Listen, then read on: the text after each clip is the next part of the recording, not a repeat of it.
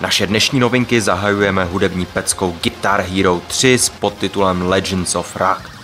Nejnovější díl skvělého kytarového simulátoru nebo spíš rytmické akce nabídne několik nových single i multiplayerových módů, z brusu nové bezdrátové kytarové ovladače a samozřejmě také obrovskou nálož rockových a metalových hitů. Mezi největšími šlágry můžeme jmenovat třeba Paint It Black od Rolling Stones, Sabotage od Beastie Boys nebo cover verzi Schools Out od Alice Cooper. Těšit se můžeme koncem roku. Teď už ale k něčemu úplně jinému. Vývojáři z Telltale Games pilně pracují na další epizodě Sama a Maxe. Zatím sice neznáme přesné datum vydání, ale už teď můžeme prozradit několik novinek. Například vylepšené NPC postavy, ty se teď budou pohybovat a reagovat mnohem živěji. Nebo třeba vylepšené ovládání automobilových částí. Další novinkou je i boxová minihra. A komu by ani to nestačilo, může si zapnout speciální systém nápovědy nebo podporu širokouhlého rozlišení.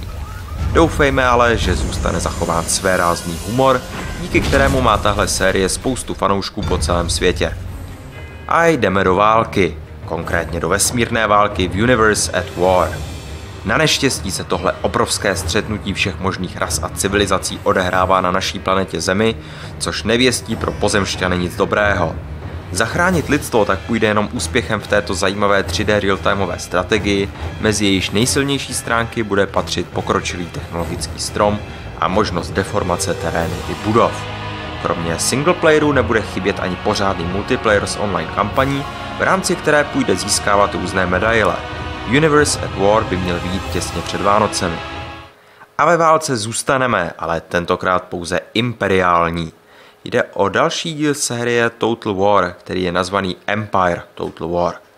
Vývojáři děj zasadili do 18. století a tak není divu, že se budou boje točit kolem průmyslové revoluce, obsazování kolonií a samozřejmě boji za nezávislost, který bude aktuální hlavně v Americe.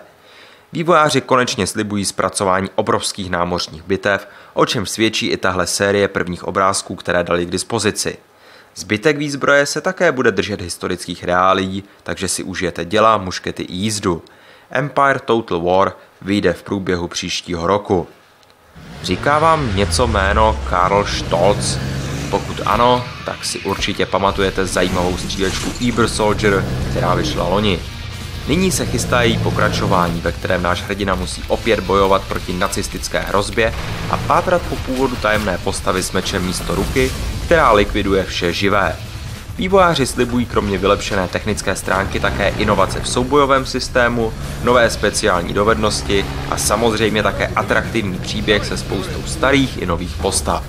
Přesné datum vydání zatím není známo. Zajímavý projekt se kutí na sever od našich hranic. Jde o sci-fi střílečku Day od Metropolis Software, kteří mají na svědomí mimo jiné povedený Infernal. Největší novinkou by měl být zbraňový systém, tedy přesněji řečeno systém evoluce jediné zbraně, kterou bude mít hráč k dispozici. Výsledkem by měly být stovky různých kombinací, což může být na jednu stranu super, ale na druhou také dost matoucí. No, uvidíme. Soudě podle postav mimozemšťanů, kteří mají podobu duchů, mají vývojáři fantazie na rozdávání. Day by měly být až v průběhu roku 2009. Od polské fantazie honem k akční fantazi. Chystaná adventura Everlight vás postaví do role šikanovaného chlapce Melvina, který utíká před ústrky okolí do krytu své vlastní fantazie. Vysnil si svět, ve kterém se s ním stal mocný mák a válečník, ale jeho fantazie se záhy stala skutečností, když objevil kouzelnou svíčku, která mu dovolila do onoho světa nahlédnout. Tvůrci Everlightu slibují propracovaný příběh s nějakou dvacítkou unikátních NPC postav, pokročilý engine s dynamickým střídáním dne i noci a pár dalších zajímavých překvapení. Dočkat bychom se měli již koncem letošního roku. A naše novinky zakončujeme záběry z chystaného MMORPG Ion, na kterém se plně pracuje NC Softu. Ten by měl oživit spektakulární bojiště, na kterých se střetávají nejen zástupci pekla se zástupci nebe, ale také jednotlivé frakce mezi sebou. Dočkat bychom se tak měli jak klasických PvP soubojů, tak skupinových Realm vs. Realm, známých například z Dark Age of Camelot. Vývojáři se holedbají, že jejich hra bude první MMORPG, které nabídne vše v jednom, tedy všechny typy bitev a questů, na které jsme zvyklí z ostatních her. Uvidíme, zda se jim to podaří splnit. Hra by totiž měla vyjít co nevidět.